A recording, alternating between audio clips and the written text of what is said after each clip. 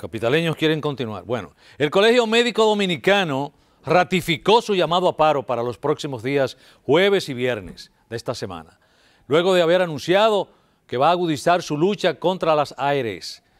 En una rueda de prensa realizada en el día de hoy, el presidente del gremio, Zenén Cava, afirmó que la salud no solo debe quedarse en el ámbito de los médicos, no solo ahí, eso dice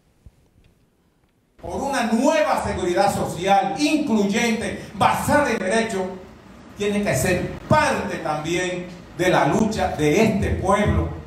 que estoicamente soportó que le cerraran 56 hospitales y que estoicamente está viendo cómo